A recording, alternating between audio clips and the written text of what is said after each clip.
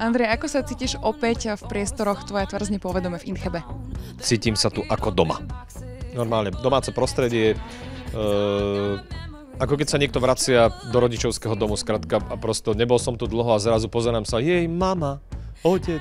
Hej, oni sú tu všetci, tie, tie tváre sú veľmi známe, uh, veľmi málo uh, ľudí tu pribudlo, takže vlastne celý ten kolektív je taký ako v tej prvej sérii, ten, ten tvúrčí kolektív.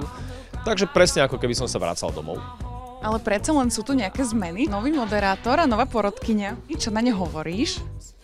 Tak nová porodkynia to ma dosť mrzí, ale nie, ja som na začiatku hovoril, že uh, lepšia voľba nemohla padnúť, pretože ten, vlastne ten celo, celosezónny hostujúci moderátor by mal byť vždy nejakým rozptýlením a myslím si, že Zuzka je výborným rozptýlením. Je to výborná komička, výborne uh, vie vytvoriť, uh, vykreovať tie myšlienky, ktoré z nej vypadávajú von, sú vždy zábavné alebo milé.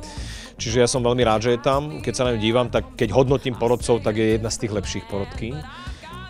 No a moderátor, tak Martin je môj dlhoročný kamarát, takže som sa na neho začal dívať a zdá sa mi, ako keby sme Martina Pizza Rauša vložili do vývojky a vyšiel z neho taký negatív. Som tie vlasy, skratka, mne sa to javí, ako keby to bol Martin, a vlastne, že je to Martin, ale nie je to Pizza Rauš, ale je to Martin Nikodým a není Rauš. No takže Martin to je určite, akorát čierne vlasy zmizli a sú tam blond a dostáva odo mňa jednotku Martin, že sa toho vôbec e, dokázal, lebo je to veľmi ťažké po uh, takom veľkom lietadle, ako je uh, Pico.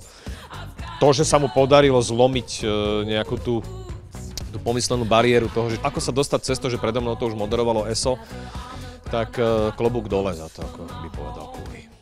Takže priatelia, ak sa vám video páčilo, klikajte sem. Ak chcete vidieť viac videí, klikajte sem. Sem, sem. Rozumená?